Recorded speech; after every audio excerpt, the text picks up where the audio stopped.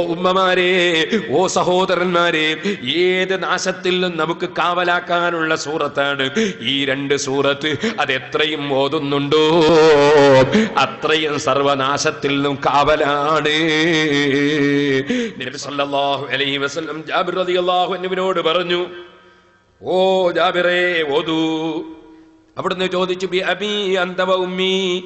ഓ നബിയെ എന്റെ ബാപ്പയെ അങ്ങേക്ക് സമർപ്പിക്കും. എന്റെ ഉമ്മയെ അങ്ങേക്ക് സമർപ്പിക്കും. ഞാൻ അത്രയും അങ്ങയോട് ആദരവുള്ള വ്യക്തിയാണ്. എന്താണ് ഞാൻ ഓതേണ്ടത്? അപ്പൊ പറഞ്ഞു കൊടുക്കുന്നു.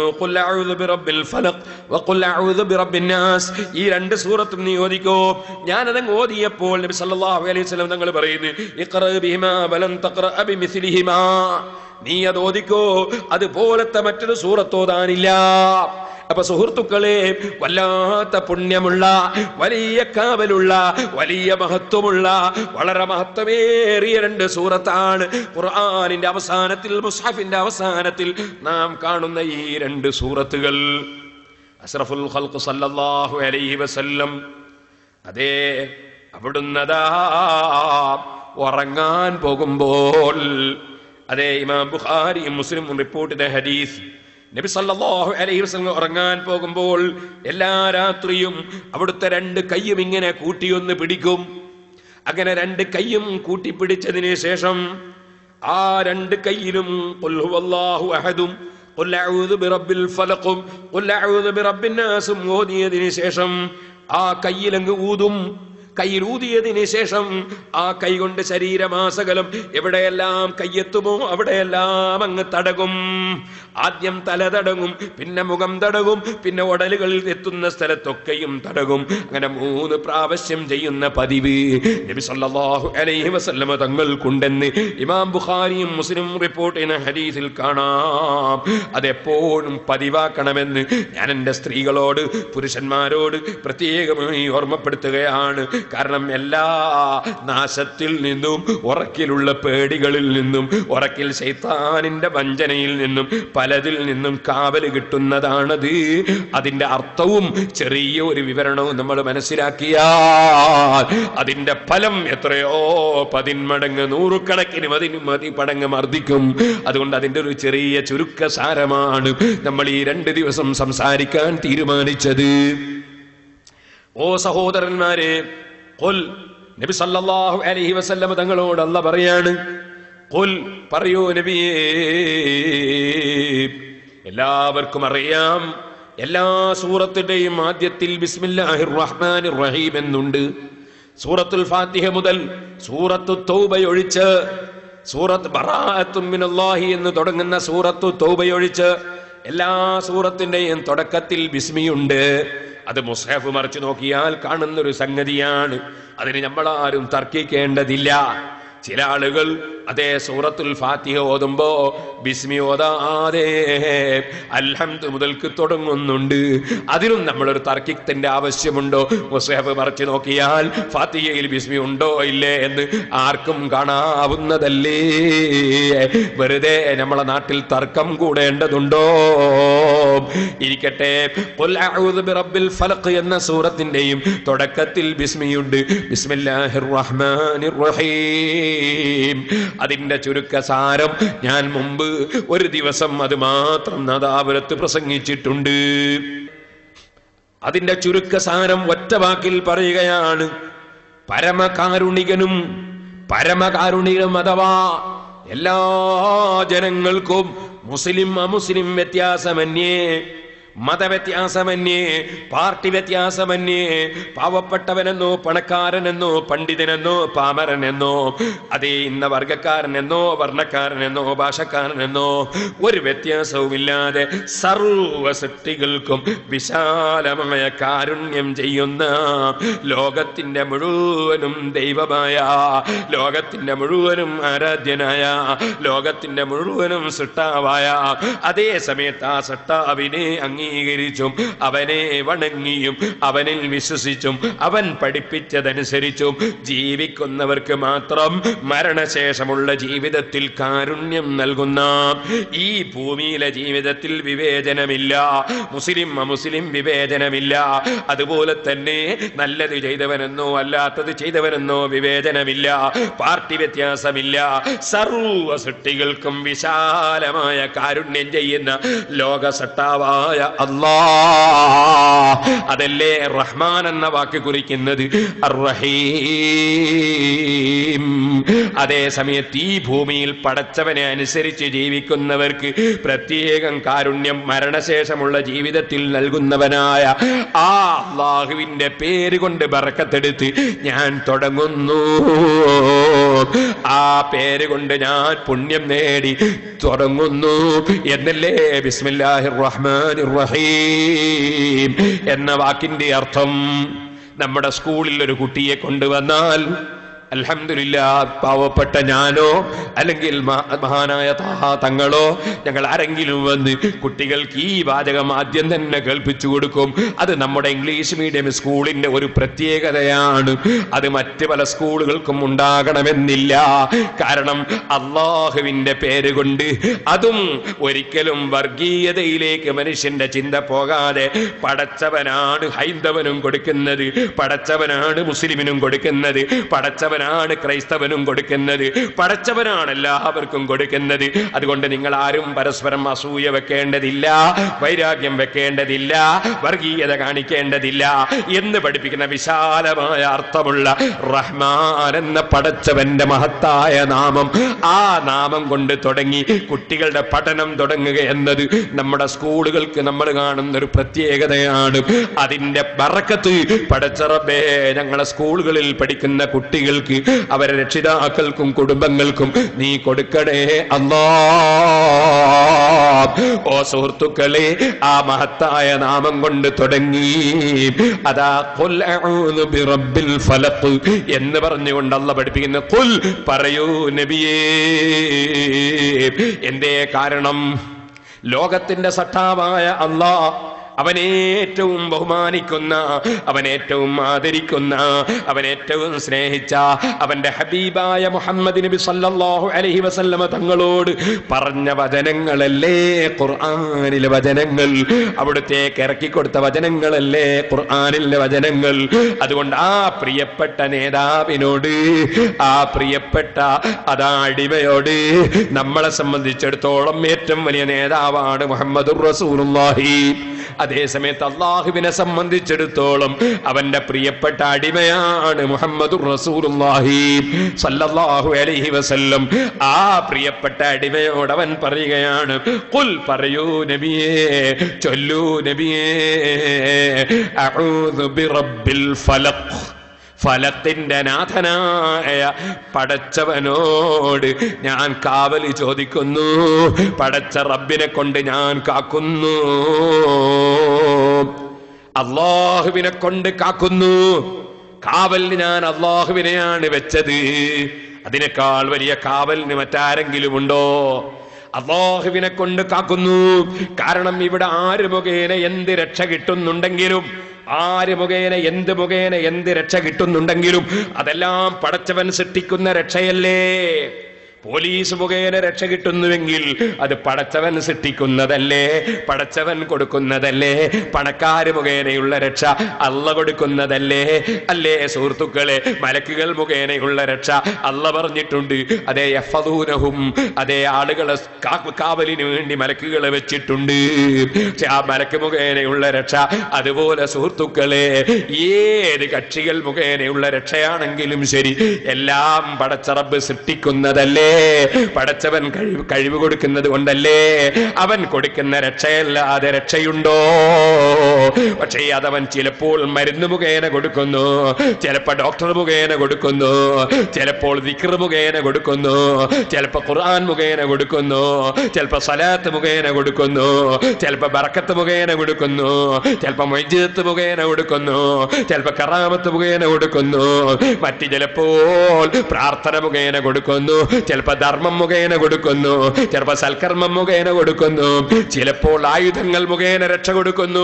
ചിലപ്പോൾ അതാ അതാ മറ്റു ഉപകരണങ്ങൾ മുഖേന കൊടുക്കുന്നു. ചിലപ്പോ മരുന്ന് മുഖേന കൊടുക്കുന്നു. എല്ലാ രക്ഷയും കൊടുക്കുന്നവൻ അല്ലയല്ലേ അതുകൊണ്ട് തന്നെ അവനോട് തന്നെയല്ലേ?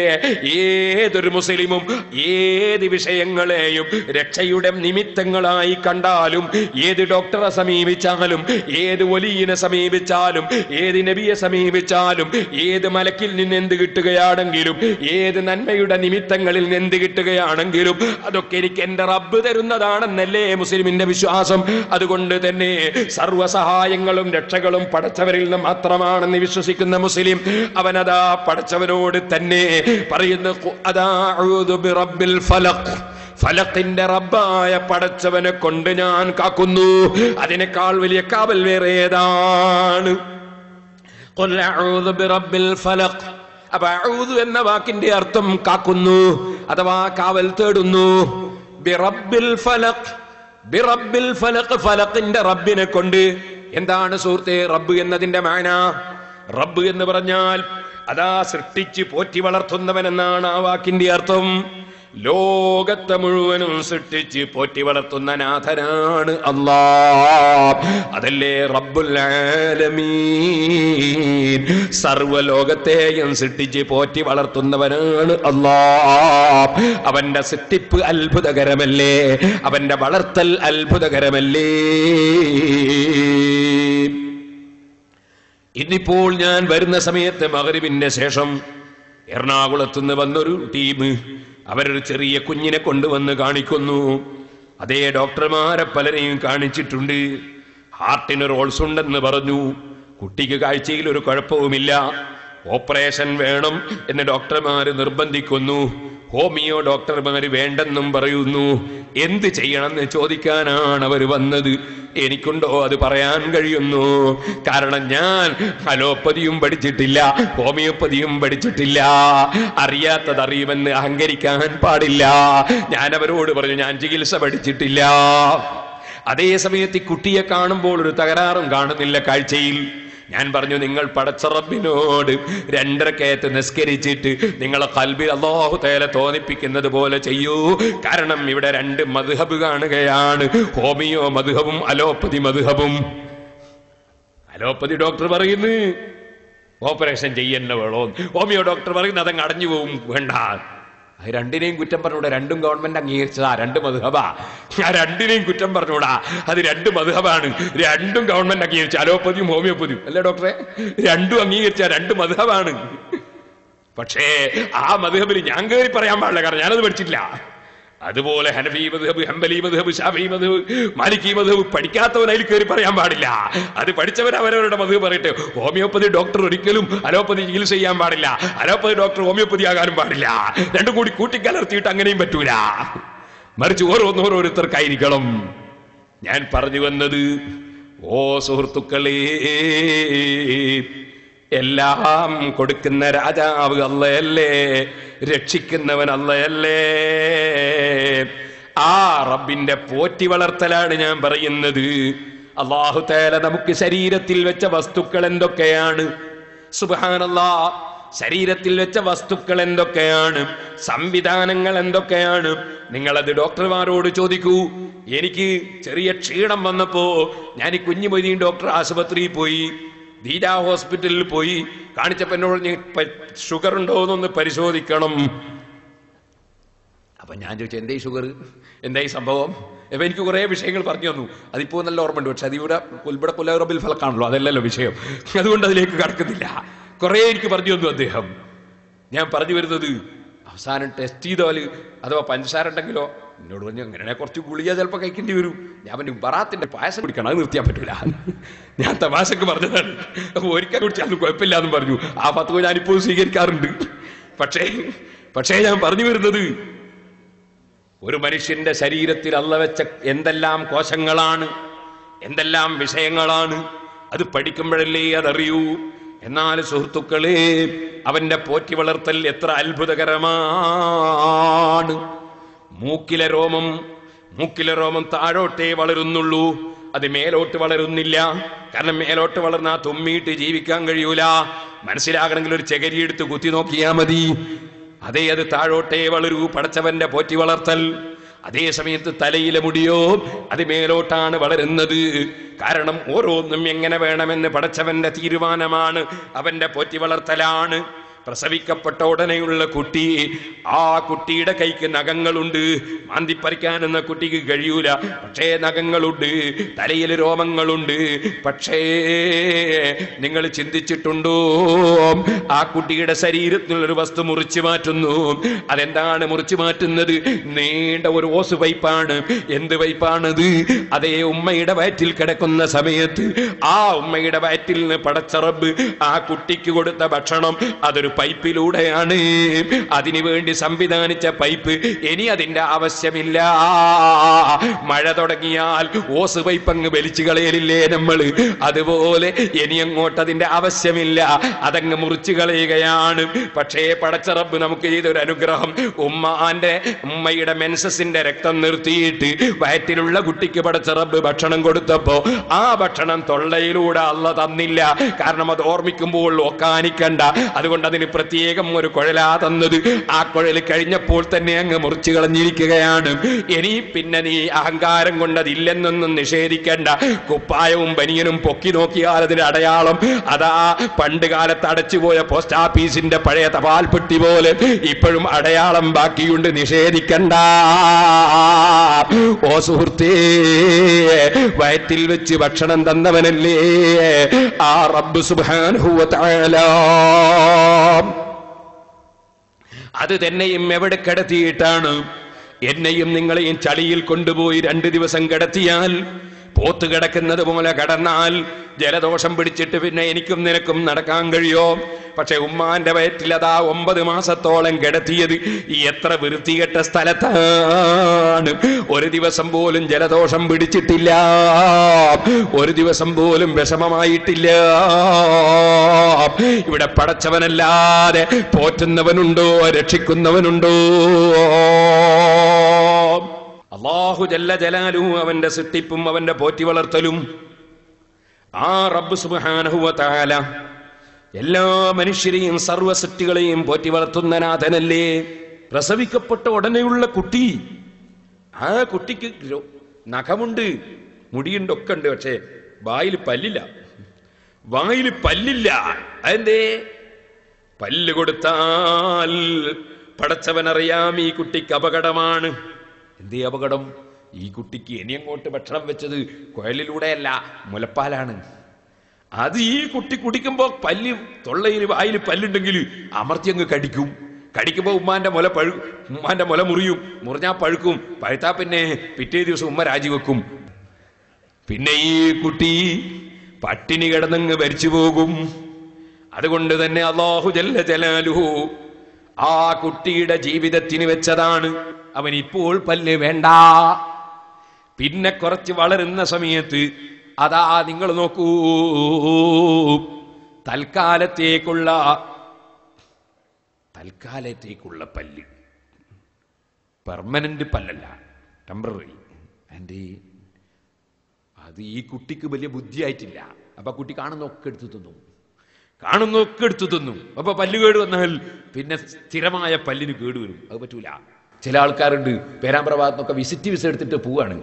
ദുബായിൽ പോയിട്ട് നല്ല ജോലിയൊക്കെ ആകുകയാണെങ്കിൽ പിന്നെ പെർമനന്റ് വിസയാക്കാം അല്ലേ? എന്ന് മാത്രമല്ല ഈ ചെറിയ കാലത്ത് ശക്തിയുള്ള പല്ല് ഫിറ്റ് ചെയ്യാൻ മാത്രം ഊനിന് ശക്തിയും പോരാ. അതുകൊണ്ട് തന്നെ ആദ്യം കൊടുക്കുന്ന പല്ല് താൽക്കാലിക പല്ലാണ് കടിച്ചൊന്ന് പഠിക്കട്ടെ.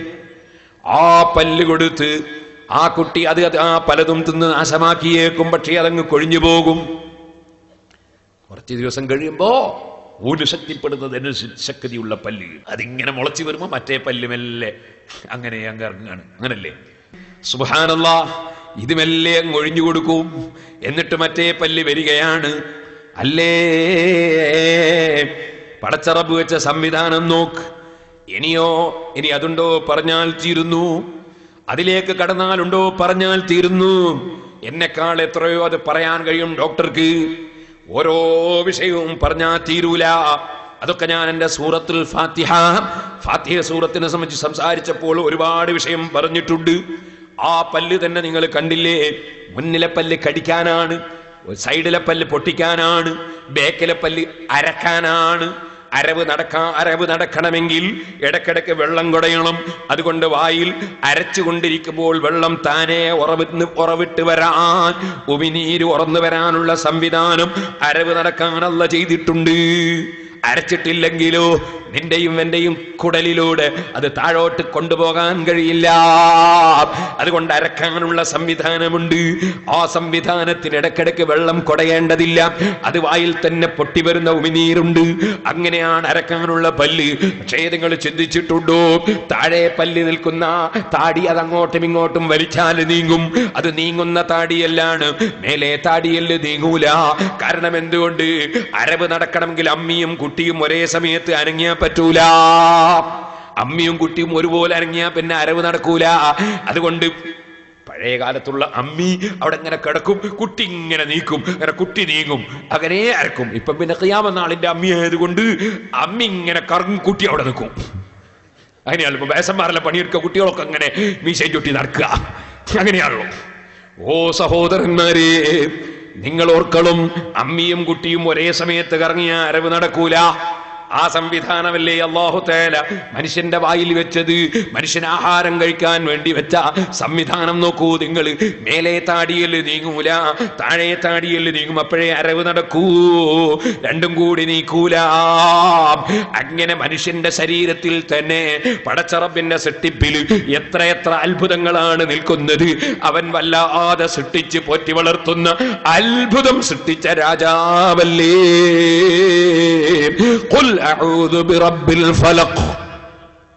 നിങ്ങൾ ആ റബ്ബിനോട് കാവലാക്കൂ ആ റബ്ബിനെ കൊണ്ട് കാവലാക്കൂ. ബിറബ്ബിൽ ഫലഖ്. ഫലക്കിന്റെ റബ്ബ് എന്ന് പറഞ്ഞു അള്ളാഹു താല ഫലക്കിന് എത്ര വ്യാഖ്യാനങ്ങളാണ് പണ്ഡിതന്മാര് നൽകിയത്? ഓ സഹോദരന്മാരെ പണ്ഡിതന്മാര് പലരും നൽകിയ ഒരു വ്യാഖ്യാനം ഫലക്ക് എന്ന് പറഞ്ഞാൽ ആ വാക്കിന്റെ നേരെ അർത്ഥം വിടരുക. പുലരുക. അതുപോലെ വിടരുക. പൊട്ടുക എന്നൊക്കെയാണ് ആ വാക്കിന്റെ നേരെ അർത്ഥം. അതുകൊണ്ട് തന്നെ പണ്ഡിതന്മാർ അതിനെ സംബന്ധിച്ച് ആ വാക്കിനെ സംബന്ധിച്ച് നേരത്തെ ഞാൻ പറഞ്ഞില്ലേ ഖുർആൻ. അതിന് അതാ എണ്ണിയാൽ ഒടുങ്ങാത്ത മാനകളാണ് ഉദ്ദേശങ്ങളാണ്. പറഞ്ഞാൽ തീരാത്ത വ്യാഖ്യാനങ്ങളാണ്. അപ്പൊ ഫലക്ക് എന്ന വാക്കിനെ സംബന്ധിച്ച് മഹാന്മാരായ പണ്ഡിതന്മാർ വിശദീകരിക്കുകയാണ്. ഒരു വിശദീകരണം ഒരു വ്യാഖ്യാനം.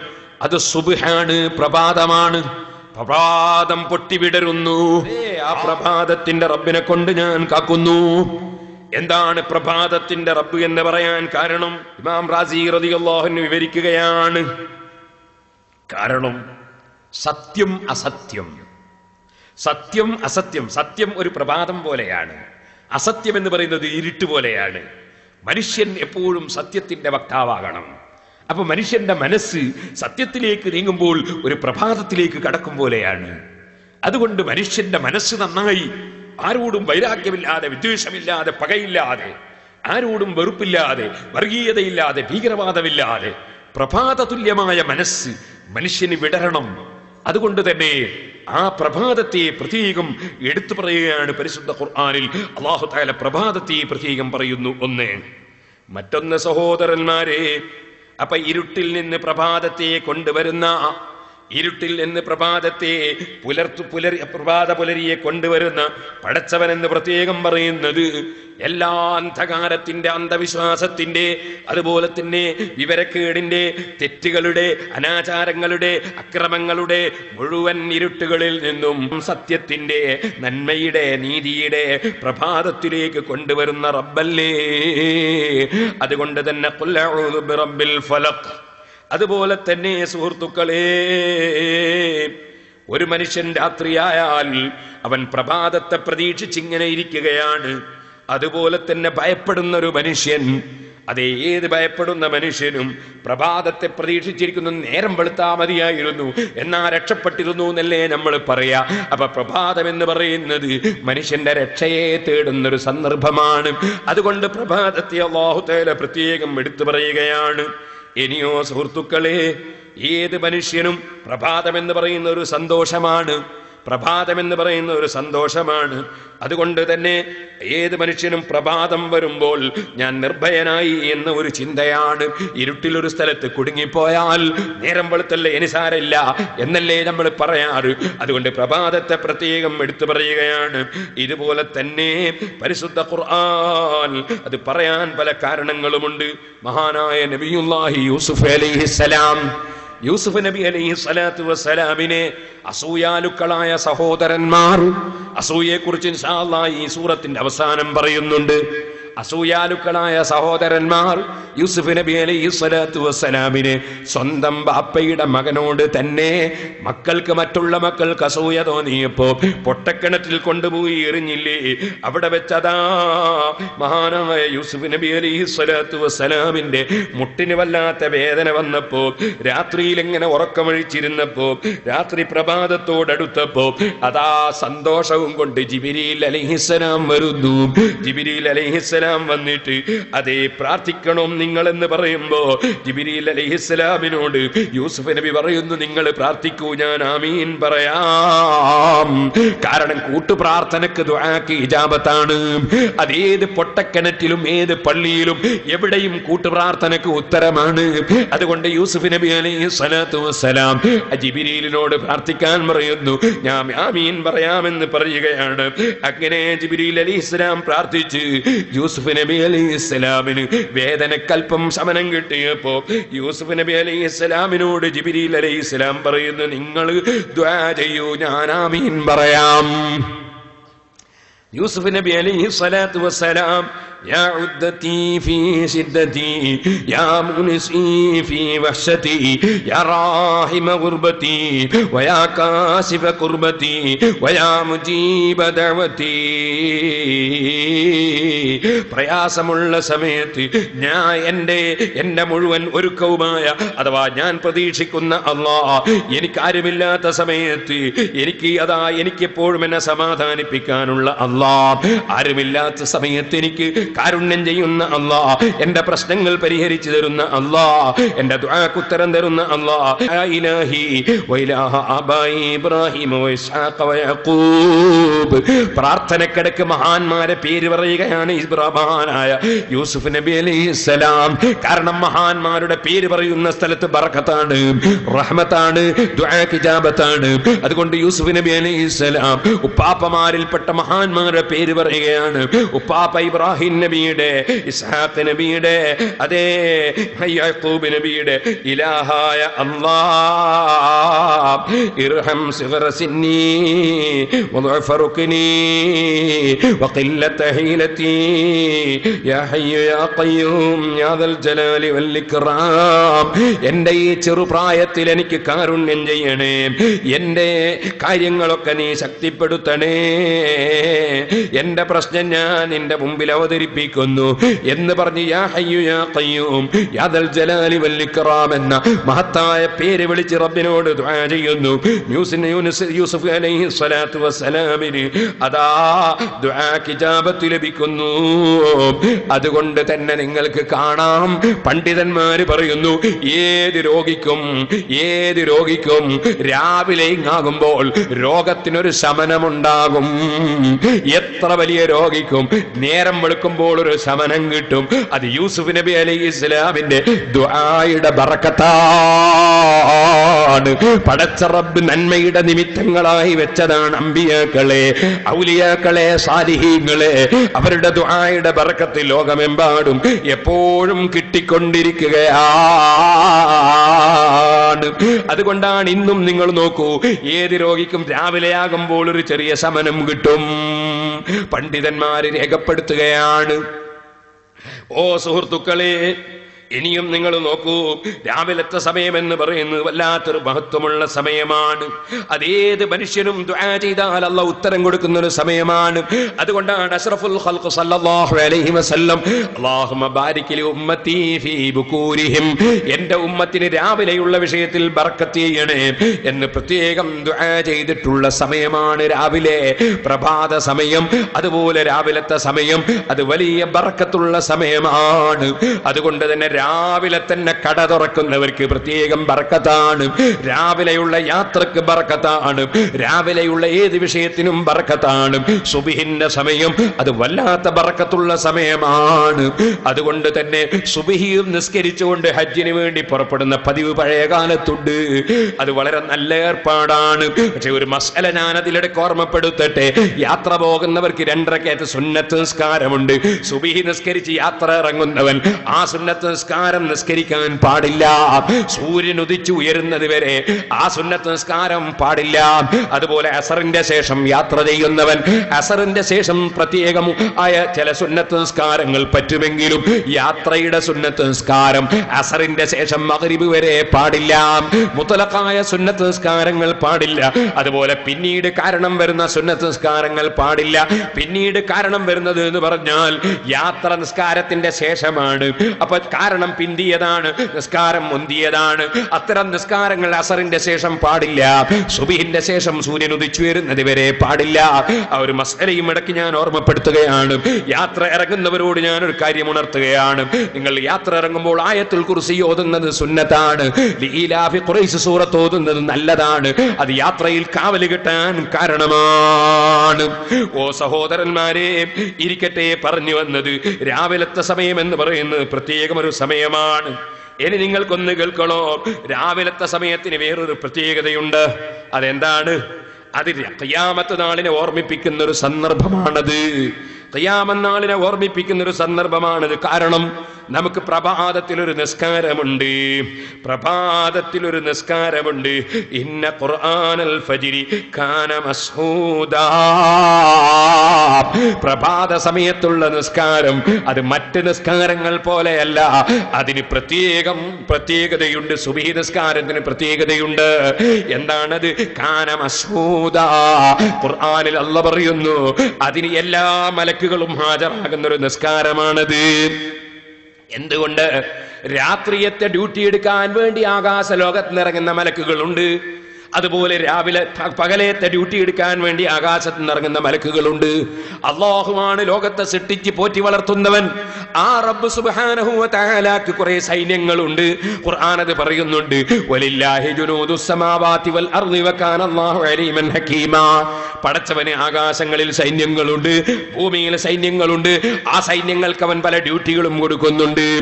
അതുകൊണ്ടാണ് പരിശുദ്ധ ഖുർആാനിൽ ഒരു സ്ഥലത്ത് അംറാ. കാര്യങ്ങളെ നിയന്ത്രിക്കുന്നവരെ തന്നെയാണ് സത്യമെന്ന് സത്യം ചെയ്തു. പടച്ചവൻ ഈ ഭൂമി ലോകത്ത് ചെയ്യുന്ന പ്രവർത്തനങ്ങൾ ആ പ്രവർത്തനങ്ങൾക്ക് പല പല മലക്കുകൾക്കും പല മഹാത്മാക്കൾക്കും പല ഡ്യൂട്ടികളും വന്ന് കൊടുത്തിട്ടുണ്ട്. ആ ഡ്യൂട്ടി കിട്ടിയിട്ടുള്ള മലക്കുകൾ ആ മലക്കുകളിൽ അത് ആ പകലത്തെ ഡ്യൂട്ടി എടുക്കേണ്ട മലക്കുകൾ ആകാശത്ത് നിന്ന് ഇറങ്ങി വരുന്നത് രാവിലെയാണ്.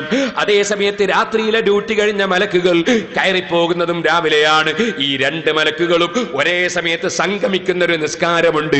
ആ നിസ്കാരത്തിന്റെ പേരാണ് സുബിഹി നിസ്കാരം. എല്ലാ മലക്കുകളും സംഗമിക്കുന്ന നിസ്കാരം. ഓ മുഅ്മിനീങ്ങളെ ഓ ഉമ്മമാരെ ഓ ചെറുപ്പക്കാരെ നിങ്ങൾ ആരും ജീവിതത്തിൽ ആ നിസ്കാരം കളാക്കി കളയരുതേ. അതൊരു വല്ലാത്ത പുണ്യമുള്ള നിസ്കാരമാണ്.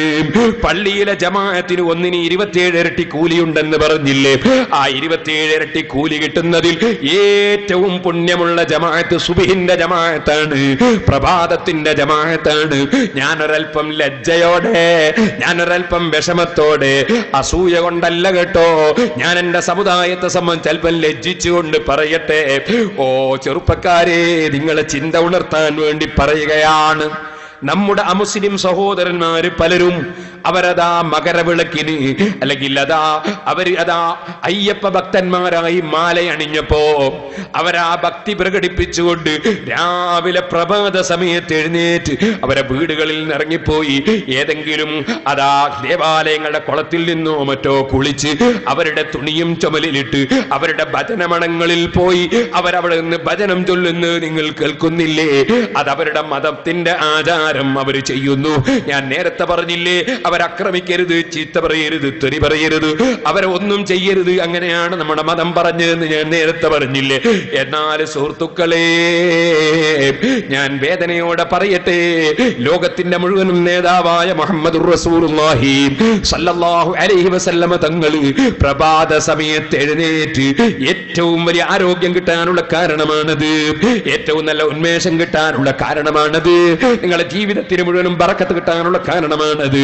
ആ പ്രഭാത സമയത്ത് എഴുന്നേറ്റ് അള്ളാഹുവിന്റെ മുമ്പിൽ രണ്ടരക്കയത്ത് നിസ്കരിക്കാൻ പറഞ്ഞപ്പോൾ പടച്ച റബ്ബിനെ തലകുനിക്കാൻ പറഞ്ഞപ്പോൾ പടച്ച റബ്ബിന്റെ ദിക്റ് ചൊല്ലാൻ പറഞ്ഞപ്പോൾ പടച്ച റബ്ബിന്റെ ഖുർആാനിന് ഫാത്തിഹുദാൻ പറഞ്ഞപ്പോൾ എന്തിനധികം പറയണം നമ്മുടെ പ്രിയപ്പെട്ട നേതാവ്? മഹാനായ മുഹമ്മദ് ഓ ചെറുപ്പക്കാരെ ഒരു മിനിറ്റ് എഴുന്നേറ്റ് നിൽക്കൂ. ആ റസൂർ പേരിൽ ഒരു മൂന്ന് സലാത്ത് ചൊല്ലൂ. സല്ലല്ലാഹു അലാ മുഹമ്മദ് സല്ലല്ലാഹു അലൈഹി വസല്ലം. സല്ലല്ലാഹു അലാ മുഹമ്മദ് സല്ലല്ലാഹു അലൈഹി വസല്ലം. അല്ലാഹുമ്മ സല്ലി അലാ മുഹമ്മദ്. യാ റബ്ബി സല്ലി അലൈഹി വസല്ലം. അസ്സലാത്തു വസ്സലാമു അലൈക. യാ സയ്യിദി യാ റസൂലല്ലാഹ് ആ മഹാനായ മുഹമ്മദ് നബി സല്ലല്ലാഹു അലൈഹി വസല്ലമ തങ്ങളെ പേരിൽ സലാത്ത് ചൊല്ലൽ നിർബന്ധമാണ്. സലാം ചൊല്ലൽ നിർബന്ധമാണ്. അത് ഖുർആനിൽ അല്ല പറഞ്ഞതാണ്. യാ അയ്യുഹല്ലദീന ആമനൂ സല്ലു അലൈഹി വസല്ലിമു തസ്ലീമാ. മുഅ്മിനീങ്ങളെ നിങ്ങൾ റസൂലുള്ളാഹിന്റെ പേരിൽ സലാത്ത് ചൊല്ലണേ. നിങ്ങൾ റസൂലുള്ളാഹിന്റെ പേരിൽ സലാം ചൊല്ലണേ.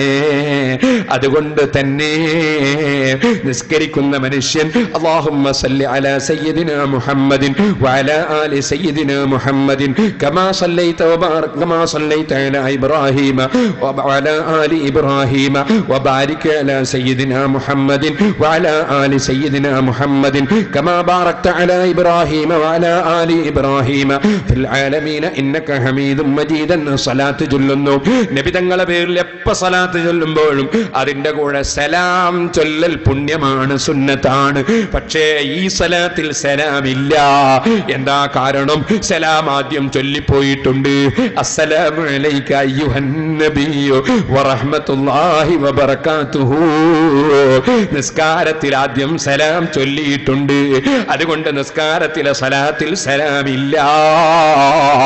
ഓ സുഹൃത്തുക്കളെ എന്നാൽ ആ സലാം അസ്സലാമു അലൈക എന്ന് ലോകത്തിന്റെ വിവിധ കോണുകളിൽ നിന്ന് നിസ്കരിക്കുന്ന മോമിനികൾ ചൊല്ലുമ്പോൾ അമേരിക്കയിൽ നിന്ന് തഹജു നിസ്കരിക്കുമ്പോ നമ്മളെ നാട്ടിൽ ദുഹ നിസ്കരിക്കുന്നു. വേറൊരു നാട്ടിൽ ദുഹറാണ് മറ്റൊരു നാട്ടിൽ അസറാണ് വേറൊരു സ്ഥലത്ത് മഹരിമാണ് വേറൊരു സ്ഥലത്ത് ഇശാണ്. അങ്ങനെ നിസ്കരിക്കുമ്പോൾ ലക്ഷക്കണക്കായ സത്യവിശ്വാസികൾ അവരുടെ നേതാവിനെ വിളിച്ചുകൊണ്ട് സലാം പറയുന്നു. അസ്സലാമലൈക്ക് അയ്യുഹൻ നബിയോ അതൊരു അന്ധവിശ്വാസത്തിന്റെ പേരിൽ വിളിക്കുന്നതല്ല അവിടുന്ന് തന്നെ പറയുന്നു. മാമിൻ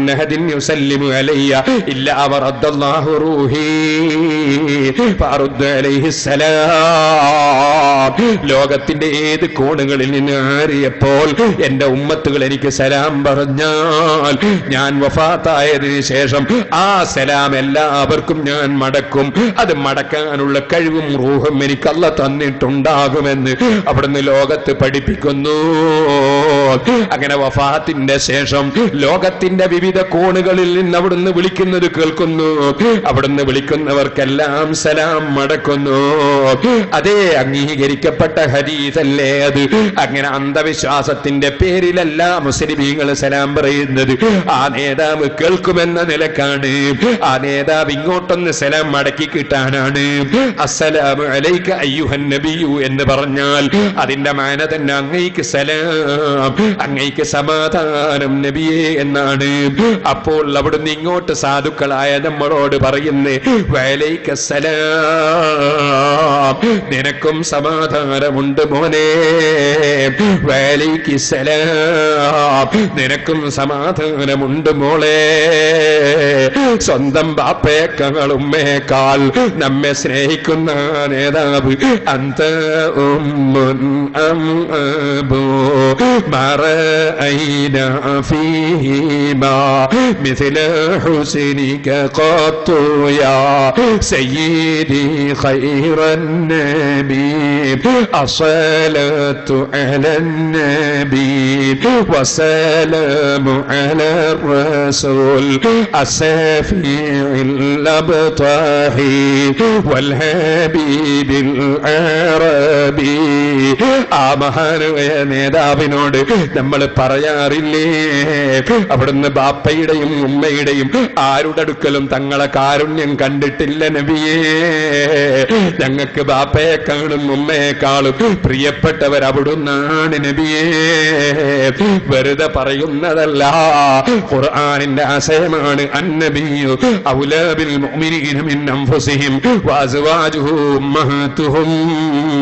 മുഹമ്മദ് നബി സല്ലല്ലാഹു അലൈഹി വസല്ലം അതാ അവരുടെ സ്വന്തം ശരീരത്തെക്കാൾ ബന്ധപ്പെട്ട നേതാവാണ്.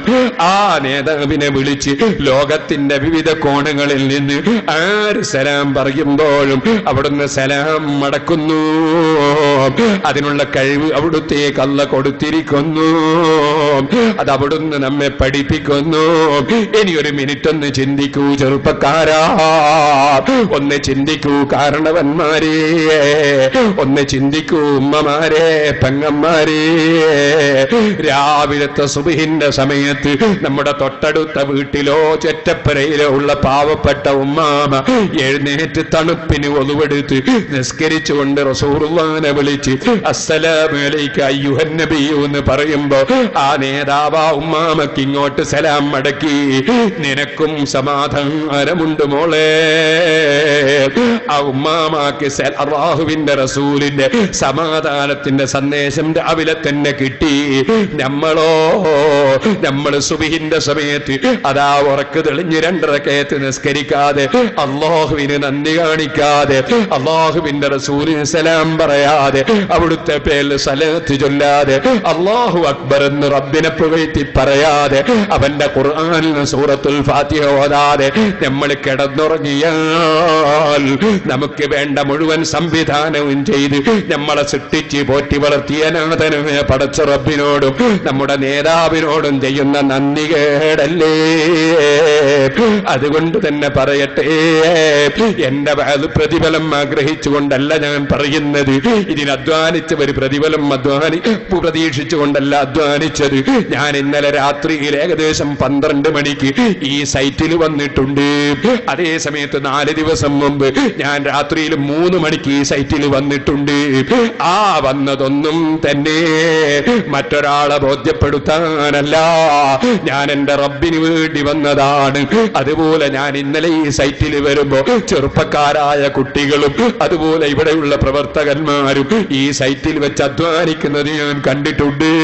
പടച്ചറബേ ഞങ്ങളെ അമലുകളൊക്കെ നീ സ്വീകരിക്കണേ റഹ്മാനെ. ഓ മുമിനിങ്ങളെ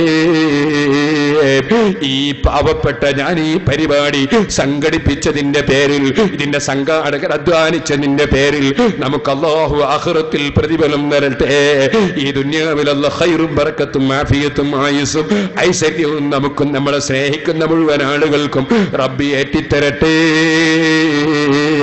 ഞാനൊരു കാര്യം പറയട്ടെ എന്റെ ചെറുപ്പക്കാരേ. ഒരൊറ്റ സുബിഹി നിസ്കാരവും എന്റെ ജീവിതത്തിൽ ഞാൻ കൊലാക്കുകയില്ല ഞാനത് കൃത്യമായി നിസ്കരിക്കുമെന്ന് മനസ്സിന്റെ ഉള്ളിൽ ഉറപ്പിച്ചിട്ടല്ലാതെ ഈ പാവപ്പെട്ട